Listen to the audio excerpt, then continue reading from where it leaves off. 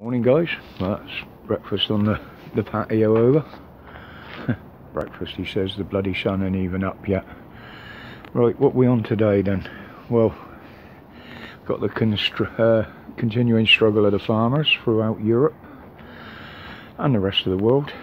Um, oh yeah, a new incoming dictator for us, but we don't know who yet. Um, oh, and a little bit on the immunity to the big pharma. I've got a little bit to say on that. But uh, let's see what we get.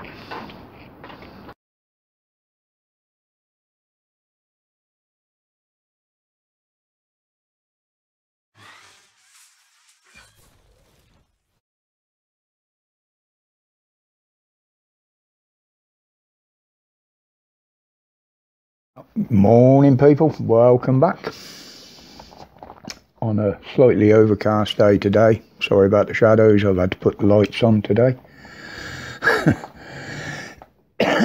no, um, well the channel seems to have stalled a bit at the moment. Um, I don't think that's lack of subs. I think that's more to do with the, the faceless cowards, but I had a go at them the other day, so I'll leave them alone for a bit to see what else they can uh, come up with to harass people online. But uh, now I talked about this the other day um, about the silence of mainstream on what's going on with the farmers around the world. Um, Europe is up in arms, the EU, with what they're doing there, trying to take their homes, their land, destroying their crops.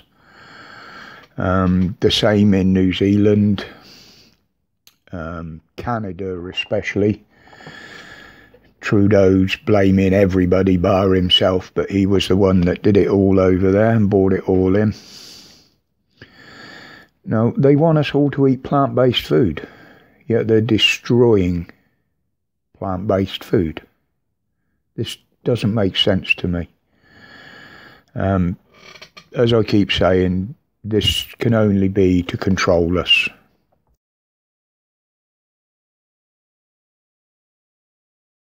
If they control our food, they control us. You toe the line or you don't get fed. Simple as. And this is a worldwide issue now.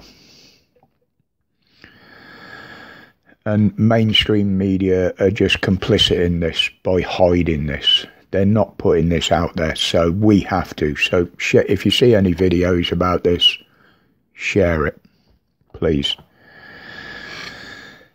But uh, so whoever gets to, I was going to swear then. I say screw this country up even more and run it even more into the ground. They're going to be travelling to Scotland along with Boris and probably quite an entourage, including security and a few others. But who's going to pay for this? We are, of course. How much is it going to cost for all those people to go to Scotland from London just to shake Mrs. Queenie's hand and say, Welcome to the Parliament? You're telling us to save money Scrimp where we can. Set, where you going, cat? Okay. I'll let you out in a minute. Hang on, folks. Sorry about that, folks. um, yeah, weird animal. but yeah, they're all going to go to Scotland just for this. A quick phone call would have sufficed. A video call would have sufficed. It's not as if Mrs. Queen hadn't done that before. You know, they're telling us to save money. They're, we're telling us to scrimp, save, put up with hardship.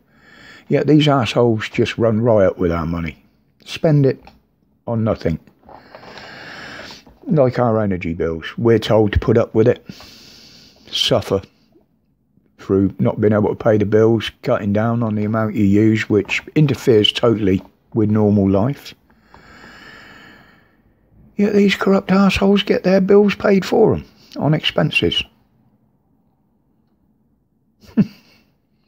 Go figure. Yeah, how much longer are we going to have to put up with this shit? Now, again, something I've brought up before.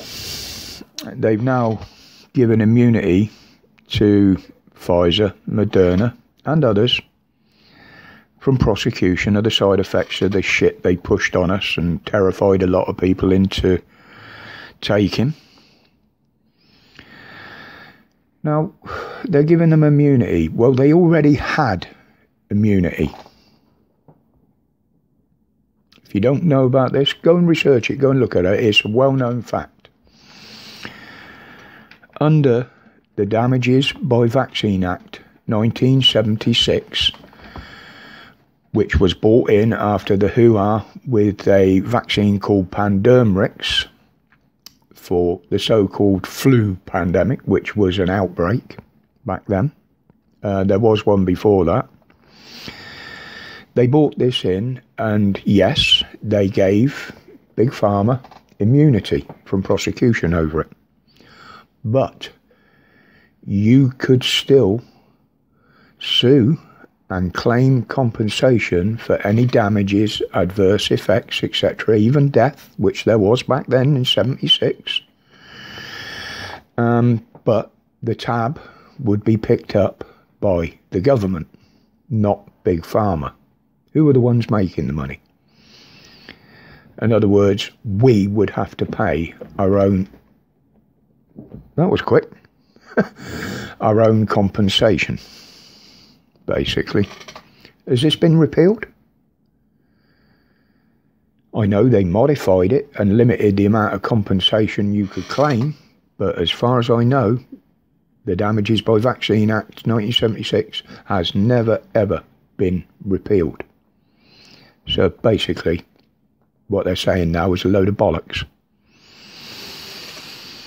You know, their contempt for us is, is just blatantly obvious.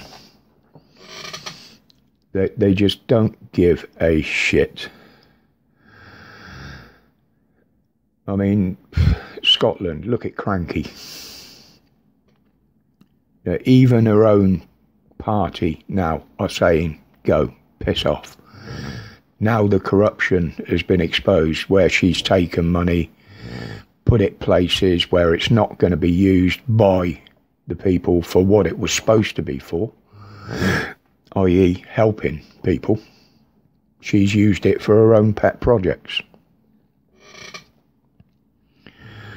And just to show how bad, Boris, you listening to this, what you have created in this country, we have the poor robbing the poor. People are robbing food banks uh, one in particular that I've seen about is um, one down in Margate. I can't remember what it was called, but this is a voluntary thing that they did for the local residents. And they have been robbed of their food stocks three times in the last 12 months. Whoever's doing that, if you're trying to feed your family, don't forget there's other people that need feeding out there, not just you. But this is the society, the society this government has created. And it's only going to get worse. A lot worse. And what really, really pisses me off is every time one of these assholes stands in front of a frigging camera saying how hard it's going to be, lying through their teeth, stealing money from us. They've got smiles on their faces. I, for one, would like to just wipe them smiles off their faces. It, again, it just shows their absolute contempt for the people of this country. I'm going to leave it there for today, folks. Uh, I haven't seen how long I've been going because I had to stop to let the cat out, who's now let herself back in and it's bloody freezing with the window open. um, if there is a video tomorrow, um, it will probably be a short one, and it will probably up be up very very early. Um, I've got an old friend of mine coming round. Um, he's bringing his new partner round to introduce to us, and uh, I want to spend some time with them. He's been a good friend of mine through all my illnesses. He's always been there for me. He called in regular to check on me, make sure there was nothing I needed, make sure I was all right, and I I will give him any amount of time above everything else. But until the next one, people, as I always say, my respects to each and every one of you. Thank you for your continuing support. As I don't usually beg for subs, but feel free to share this channel out there.